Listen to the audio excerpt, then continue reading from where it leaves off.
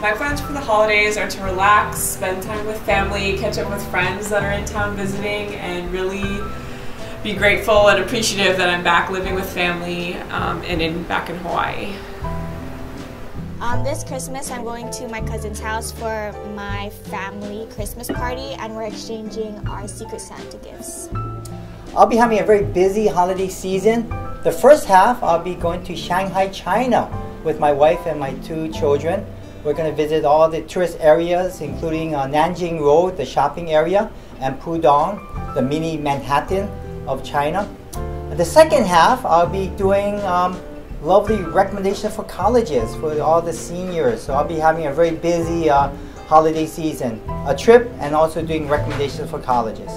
So on the holidays, I'm planning to go to California and go to Disneyland on New Year's and Christmas with my family. I look forward to having my daughter home for the holidays. Um, for many of you who know her, she's off at college. Um, she'll be returning from Penn State in about I would say two, two and a half weeks.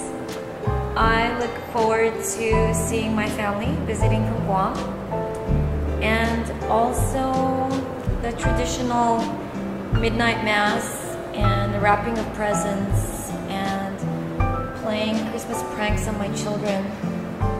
I'm staying home for the holidays and spending every single time with my family.